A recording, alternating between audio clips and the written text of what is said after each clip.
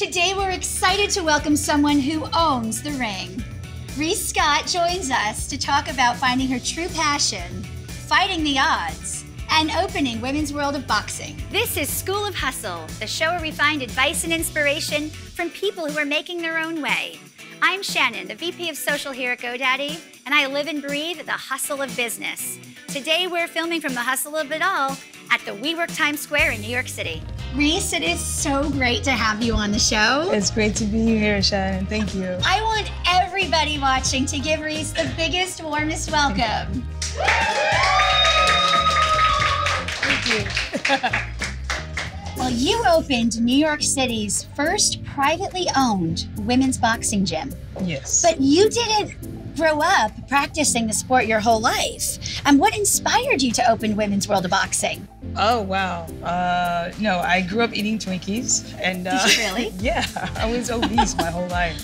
I was actually yeah, and that's actually you know how we got here. Uh, I was about 220 pounds when I started boxing, and um, I you know worked in corporate, and I wasn't doing anything except doing my job, doing a thing, and I started boxing. I just kind of wandered into a gym because of just where I was in my 220 pounds. Yeah. And uh, I felt like I needed to do something. So I said, okay, let me just go for a walk and see where it takes me. And it led me there.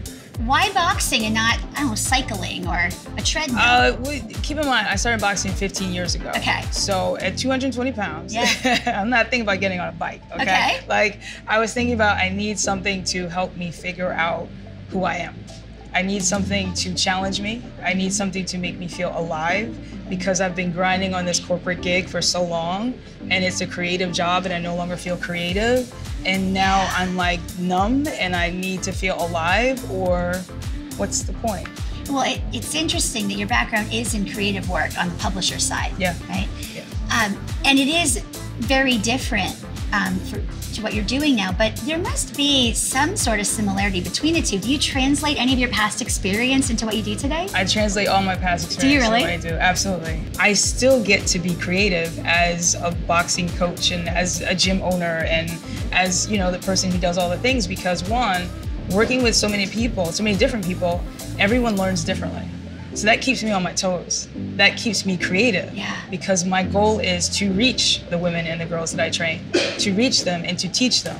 In order to teach someone, you have to learn how they learn. And what steps did you take to make this business a reality? For me, it was making a list of all the things that make me happy. Where, and that's is truly where I started. Where am I the Where am I the happiest? What am I doing when I'm happy? And it was strange because it was for me coming to the boxing gym in the most unwelcoming, uninviting place. Think 15 years ago, bunch of sweaty guys. I was one, I think, of four women who were in the gym. They didn't want me there, but ironically enough, it was the one place where I felt so comfortable because it was the one place that made me focus on me. Right. Boxing makes you so present. You have to be present because everything is connected. And the mirror work that's involved in mm-hmm. boxing, you have to look in the mirror. You have to look at yourself. And that's one of the hardest things to do. You know what I mean? For people to really like take off all the layers and really look at themselves in the mirror and really be honest with what they see looking back at them. And for me, that's what boxing was. So being 220 pounds, having this career that I had built because I worked in publishing for what 19 years. So it's like, okay, am I really in that whole? Oh, at your age, are you? Really, my parents thought I was crazy. Oh. Are you really going to switch careers and and to work for yourself and do this boxing thing? And I'm like, yeah, I think I am. I love to teach. I love to share what I learned. And what I noticed coming up in the boxing gyms, the few women that would come into the gym, the men weren't teaching them. My mission was to learn as much as I could from as many people as I could, Okay. to study, to train, to become licensed, so I can teach other people. When that is my goal, if you are my goal, you are, I, my goal is to teach you. I'm not worried about what anybody else is saying about me. I'm not worried about what anyone else is doing. I know that for me, my goal is to make sure that the environment is safe for you and for me to teach you as much as I can in And that what, time. what does a typical experience look like for somebody who comes to your gym? Oh, I mean, it's. It, I think I think it's awesome. One of the the things that people say the most as soon as they walk in is they say first they take a deep breath. Every woman and even a lot of men that come into the gym, they're supportive and just asking questions, whatever. They come in and they take a breath. And for me, that's everything. Because when I designed my gym, I designed it with everything in here. I wanted it to feel like home. It's not just a boxing gym. It's a it's a community. So when people come in, they say they take a breath and then they say, I feel the love in this place. What boxing gym in Manhattan and people walk in and say they feel the love? They smell the stench, but not in my gym. You know what I mean? It's like Yeah, it's stinky, it's yeah, dirty, like- it's exactly. dark, and it's- like they walk in and they're Yeah. like, wow. And in that deep breath, Yeah. their guard comes down. Okay. And then we can talk. And then they tell me why they're there. They want to learn. They want to fight. They just want to learn self-defense. They want to build their confidence. Whatever it is, we're gonna do That's right. slowly and steadily.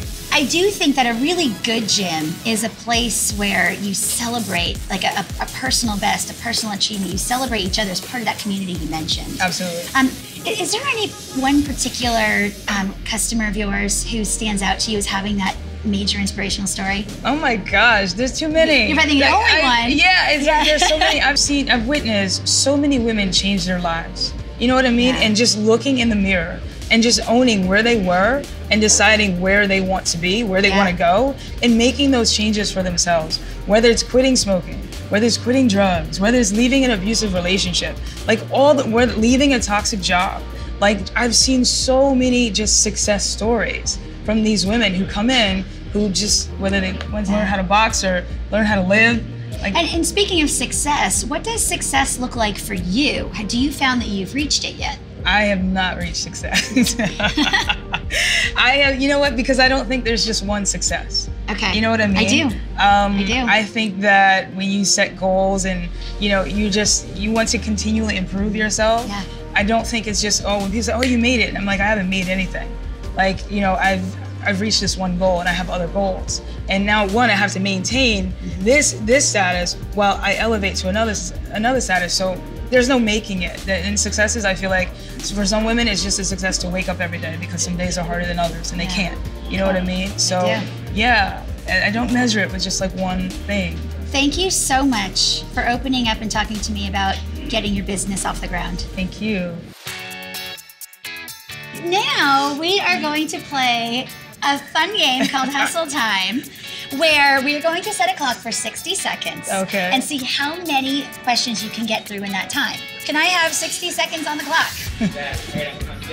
Okay. Three, Can I peek? two, one, go. First record you bought with your own money. Commodores, Favorite Disney movie. Aladdin, Favorite movie. Color Purple, Dream dinner guest. Oprah, Best place you've traveled. Cuba, Favorite New York City tourist attraction. oh, Times Square. What's the first app you open in the morning? The first app I open Yeah. Instagram, Cool. Which would you rather give up for life, pizza or sandwiches? sandwiches. Would you rather never be able to teach or mentor or never be able to learn? Ooh, never be able to learn. How would your mother describe you? that laugh, that's your answer. Never went guilty pleasure. Red velvet uh, cake. One word you wish you could take away from the English language. Ooh, starts with an N. A favorite workout, arms, legs, or abs. Abs, Boozy brunch or morning workout. boozy brunch. What is your favorite word? Hi, Willy Wonka, Gene Wilder, or Johnny Depp? uh, Gene Wilder. Biggest splurge. Oh, What is it? ah, my gym. I was gonna say. I was gonna say that. I know. 11, 12, 13, 14, 15, 16, 17. That's without coffee. You That's without 17. caffeine. nice. Give me a five. Favorite part of your day? Morning. Best piece of advice you've ever gotten? Do everything yourself. Worst piece of advice? Do everything yourself. How do you use your career to inspire others? Uh, I do what I do from the heart, and yeah, that's it. Ever felt like walking away? Every day, and then walking back. One thing you still need to learn. Ooh, time management. What do you want people to learn from you? Everything I could possibly teach them. What's next for you? Now, Who inspires you? everyone, Who challenges you? everyone. It's true. Well, we let everybody in social know that you were coming as well. And uh, Jeff actually sent in two. Okay. Did you experience any challenges getting started in what many would consider a male dominated industry? Yes, tons of challenges. Okay. Uh, one from a woman going into a boxing gym to learn how to box. That's one going in as a client. Um, then two, after training for years and years and years as a client, and then stepping into that world of a trainer. Yeah. Uh, back 15 years ago, men, and even now in some of the gyms, a lot of the older, you know, boxing trainers, they feel that women don't belong on the floor. That's what they call the gym. They don't belong on the floor as trainers. So earning that respect as a trainer, when you have to earn respect as a client to work, to walk into the gym to train. They see you coming every day. Okay, she's serious. Yeah. Okay, maybe you know we won't bother her as much because she's serious. Mm-hmm. Then oh, she's training. Oh, we're gonna try and you know belittle her, diminish her, all these things in, in front of her clients. But she still keeps coming back and she's doing well and she's getting more clients and she actually looks like she knows knows what she's doing. Okay, we're gonna respect her a little bit. Then it's okay. Wait, she's opening her own gym. Who does she think she is? You know what I mean? So there's always that Yeah. undertone. You know what I mean? Yep. It's it's very you know just being a woman going into this world because hearing every day, this is a man's world. You don't belong here. Women don't right. belong in a gym. Hence, women's world of boxing. How did you raise capital to start your venture? I asked everybody I know. Did the thing my parents said don't do. Don't cash out your 401k. I was like, yeah, let me cash that out because you know this is my thing. So yeah, I owe everybody. Yeah. I- we just met, but I probably owe you too. so you know, You it's do. like I owe you. Yeah. Trust me, I owe you. it's like family, friends, like Yeah. everybody, everybody. I do have one last question Yes. from one of my favorite people, All right. our, our pug Noodle. Um, Noodle loves athletics and fitness. In fact, he has some decent athletic ability and endurance. Oh, he's so cute. But Noodle has never tried boxing. Noodle feels he's a lover and not a fighter, and he's also shy about people watching him work out. What advice would you have for someone who wants to try boxing but has some reservations about this whole opponent aspect? I I tell people if they have the curiosity, mm-hmm. satisfy the curiosity. It's that simple. Okay. You don't have to walk into a gym feeling like you're you should know everything. We don't know the thing. We're taking classes to learn. So no one expects you to know the thing that you want to try. Yeah. And that's really hard for a lot of people because they walk in and, oh, I'm sorry, I don't know anything. Well, never apologize for what you don't know, but I applaud you for walking in and That's willing to learn. And also knowing what you don't know. Yeah. And saying, I'm going to Yeah. learn more. Exactly. And curiosity is a sign of intelligence. Exactly. Right? Exactly. That's great. Yeah. Hear that, Noodle? So try noodle. you hear that? You, can just come to the try. gym and try with That's me. all you do. well, um, this this is fantastic. And uh, before closing every show, I like to do yeah. sort of a final thought, like a fortune cookie at the end of a Chinese Yeah. meal. Um, I have three thoughts, three quotes. I'm going to read them to you, and I would love for you to listen and tell me which one resonates the most with you and why. Number one, take care of your body. It's the only place you have to live. Two, fitness is not about being better than someone else, it's about being better than you used to be. Three, fearless is having fears, but jumping anyway. Fearless is about having fears but jumping anyway. Yeah, They all resonate with me, but that one, yeah. that one is everything. That's everything. That's everything. and why is that? One of the scariest things that anyone can do is leave their comfort zone. Yeah, that's right. Yeah.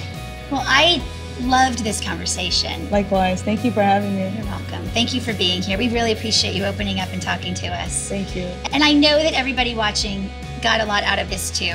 And I want to remind everybody watching to follow Women's World of Boxing across social and follow GoDaddy as well because we are bringing many more fabulous entrepreneurs your way, just like Reese, every week.